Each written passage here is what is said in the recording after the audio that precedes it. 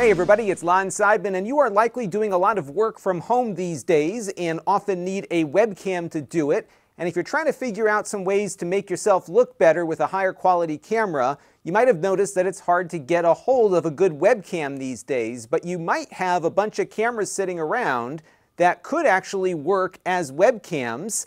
And there's a great way now to hook them up to your computer very inexpensively. There's a whole bunch of these super cheap capture cards that have shown up on Amazon over the last couple of months. And what we're going to be doing in this video is taking a look at three random ones that I purchased here and see how they perform, bringing in some of these traditional cameras into our laptop here as a webcam. And this might be a good alternative, especially if you have things like a GoPro hanging around or even an old camcorder or something. You might be able to repurpose those older cameras as a pretty decent webcam device. And we're going to show you how to do that in this video.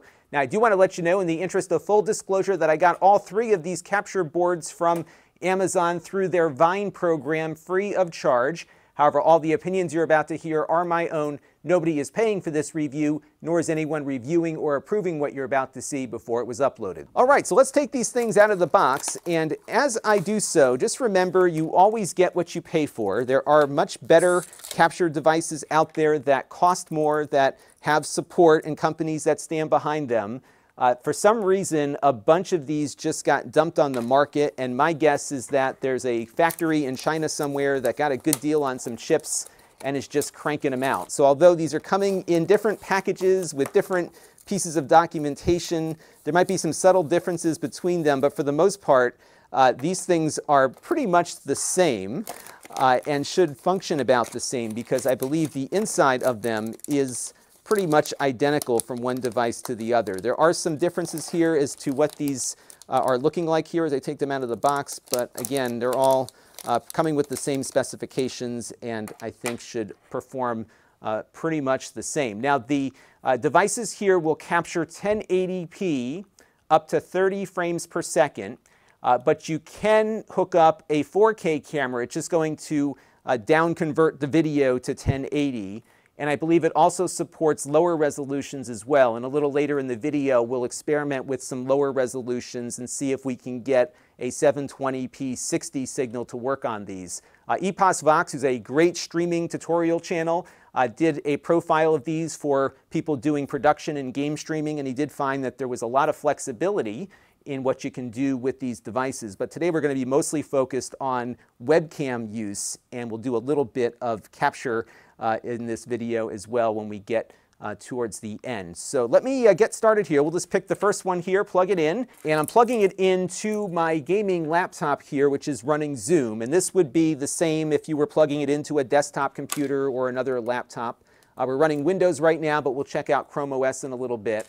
And what's happening right now as we plug this thing in is that the system is recognizing it. It says setting up a device, and it looks like it was able to get it going. And what I'm going to do now is connect up this camera. This is a Nikon DSLR.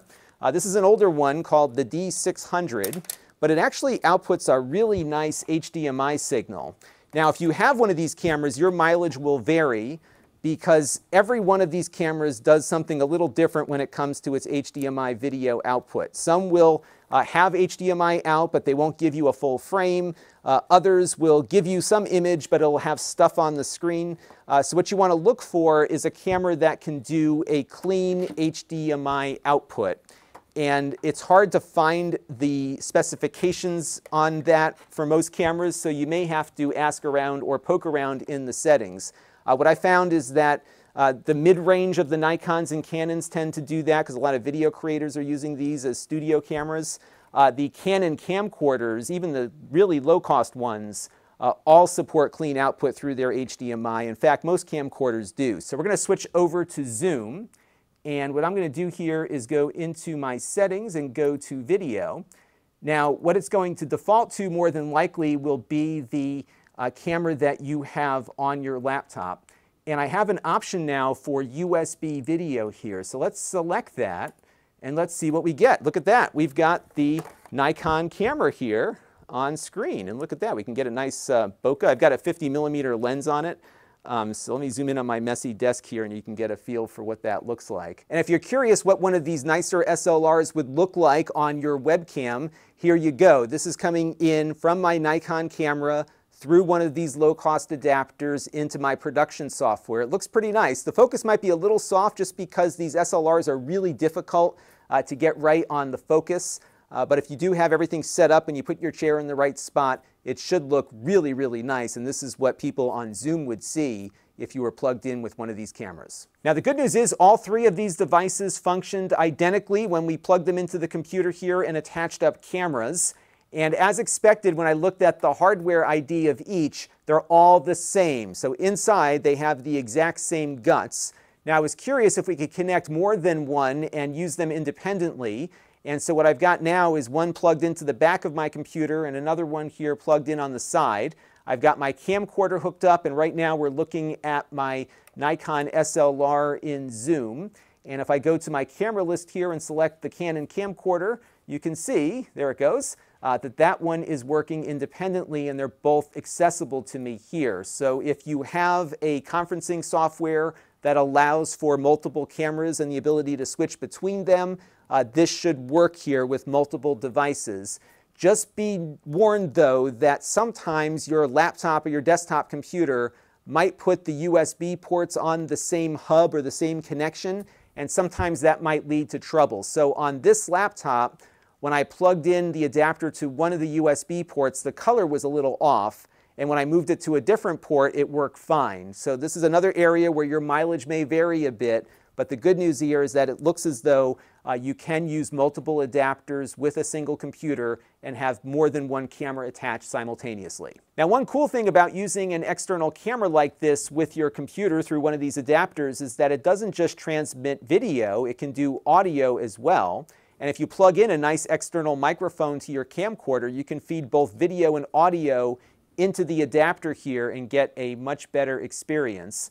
Uh, so right now we're back on our Zoom settings and depending on the software you're using, you'll have to go in and find the microphone section on there. But as you can see here, the uh, digital audio interface, the USB digital adapter that we have installed is showing up as a microphone. And if I just go here and test the mic, I can maybe tap on it a little bit here and talk a little bit. I'll stop recording and tap on it a little bit here and talk a little bit. And you can hear that it's picking up that microphone and playing it back for me. So I could use this camera as my mic or have a microphone connected to this camera be the mic and you'll get better audio in addition to better video. And it's often best to use a microphone attached to your camera because that will keep the lip sync working properly. Depending on your computer, if you're bringing your mic in through a USB microphone and having video come over the camera, sometimes the audio and video may get a little out of sync. But if your audio is coming over with the video uh, through the single cable to the adapter, you'll have a much better presentation. Now you're not just limited to cameras, you can hook up other HDMI devices as well. So I've got my iPad connected up right now, and as you can see, it is being brought into Zoom. And the latency is very minimal on this too. I was very pleased with that. Uh, so if you wanted to have yourself on one camera with an adapter, you can plug in a second adapter and connect your iPad, for example, and bring both of those into your Zoom conference. Uh, one thing you'll notice here is that the image is reversed. Uh, you can change this in the settings. What it does is it gives you a mirror image for your own video. So if I was on a call, uh, somebody would see the image in the proper orientation here. Uh, Zoom also has some options to do two cameras at the same time. So if you go to the share video option and go over to advanced, uh, you'll see there's an option to add in content from a second camera. And there are ways you could actually have both your iPad and yourself up at the same time. Uh, so pretty much most HDMI sources should work with this. Uh, the one exception would be maybe a Blu-ray player which has copy protection on board. The movie studios don't want you broadcasting their movies out to the world, so that might be one thing that doesn't work. But it looks like an iPad and other devices here uh, should work without too much trouble. On the iPad, you will just need to get an adapter to get an HDMI output. Uh, so I have a newer iPad Pro that uses a USB-C adapter. but other iPads will use the Lightning to HDMI adapter to get the output there, and it's possible to also hook up computers and Raspberry Pis and other things that output HDMI through one of these adapters. All right, so let's try out the Mac now. We've got my little 12-inch MacBook, which unfortunately is no longer being manufactured.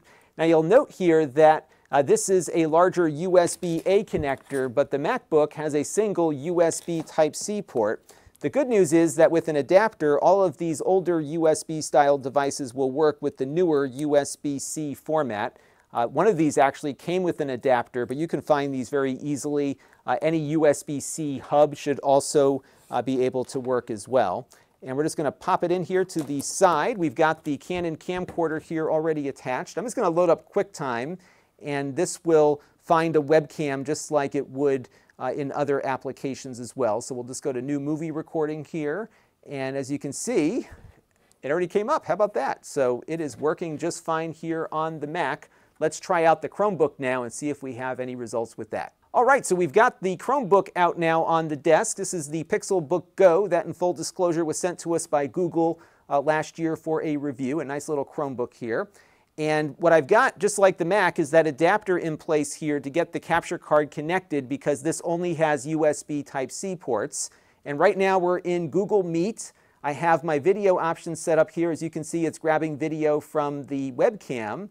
Uh, but it looks as though USB is also an option here. And if I just move this uh, thing out of the way here, you can see that this is working with Google Meet as well. So it looks like this is working uh, not only on Windows, but on the Mac and on Chromebooks, and it should work also with other devices that support webcams because the standard that these capture devices are using is basically the webcam standard. So if something works with a webcam, it should work here, and it's encouraging to see that it's working on at least three different platforms and I know it also works on Linux as well for supported applications. So now we're going to take a look at some more technical items because I know a lot of you will have some techie questions that you'll want answered in this video. And what I'm doing right now is running my Analogue Mega SG at 720p at 60 frames per second into vMix. And it seems to be working just fine at that frame rate. It looks like we're getting the 60p here. Uh, so I think you should be able to run it at 60 at lower resolutions. Remember, at 1080p, the max it will do is 30 frames per second. If I pull up the chart here to look at performance, it looks as though we're getting uh, a couple of resynced frames here as we go along, along with a few drop frames. Uh, this is something that EposVox noticed in his video as well. It's not going to be something that'll be all that noticeable on a stream perhaps, but this is something that I often see on these lower cost devices. So when you drop a frame, it means it wasn't able to keep up. And then when it resyncs, it's often going a little faster than the frame rate that vMix here is requiring. So these are not perfect devices. They are not for professional use. But if you're in a pinch and you need to bring something in, uh, they do seem to work pretty well at that. And they will drop a few frames here or there. But if you're just doing it on a live stream, not that many folks are really going to notice that. And it looks as though I'm getting a nice smooth uh, 60 frames per second here through vMix at 720p. And we also plug them into OBS, and I've got the game console here running along with the Canon video camera. All seems to be working pretty well. And you can move things around and do all the usual things you do with OBS too. Now, one of the reasons why I like using these analog consoles is that it's very easy to switch around video modes. Uh, so as you can see here, we're at 720p 60. I can switch it back to 1080p 60. Uh, this, of course, will not give you 1080p 60 out the HDMI, though. You're only going to get 30 frames per second, so things won't look as smooth. It's going to have to drop frames to meet that frame rate. Uh, but it also seems to work at 480p. If I switch down to that mode, boom, it just comes right back up again. So it looks like it's got uh, some degree of scaling built in as well. And again, if you are at these lower resolutions, you should get the 60 frames per second output. Again, 1080p though is limited to 30. So that's going to do it for this look at these low-cost HDMI adapters. Again, the packaging is different, the look of the devices is different, but the guts inside are the same, it looks like, on most of these. And I was really impressed, as many other reviewers have been, as to how good these are for the price. It's almost too good to be true based on what I've paid for these kinds of devices in the past. One thing to note, though, is that this is not for professional broadcasters. given that we're going to see some frame drops and resyncs and that sort of thing. But for streamers and for people doing Zoom meetings and whatnot, not bad at all. Again, the max output on these is 1080p at 30 frames per second. So if you are capturing game footage, you'll probably want something that can do 60 frames per second at 1080p. But these might be great for a secondary camera like the one that's on you as you're talking over your game stream. And they're also good for more than just cameras because as you saw, you can connect iPads and other HDMI devices up to them. Uh, just buy at your own risk just because all of these sellers might be gone tomorrow. So maybe buy two or three of them from different sellers just to be safe. But overall, I think I am comfortable, actually, surprisingly, uh, recommending these as a low-cost, super budget video capture solution. That's going to do it for now. Until next time, this is Lon Seidman. Thanks for watching. This channel is brought to you by the Lon.TV supporters including gold level supporters Tom Albrecht, Chris Allegretta, David Hockman, Brian Parker,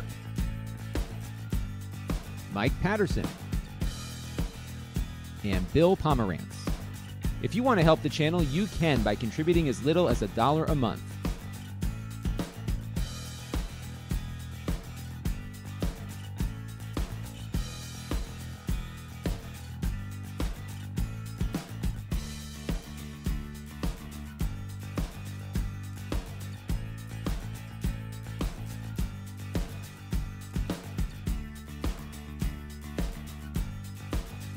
Head over to lon.tv slash support to learn more.